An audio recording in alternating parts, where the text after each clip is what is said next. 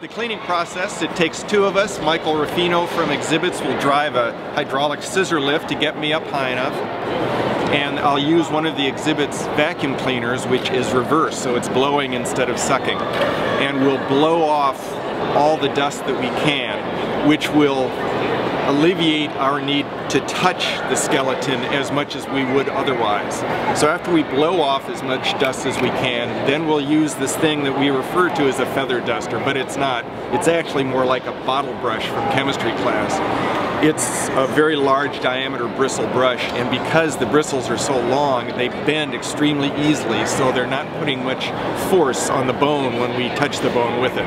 And we'll just, we'll, we'll take the scissor lift and go to one spot in the skeleton, blow it off and then use the duster, move the scissor lift, go to the next spot, blow it off, use the duster and we'll just go all the way around the skeleton until it's clean. Uh, obviously eventually somebody else is going to have to clean it so I'll train somebody else to do it when I retire.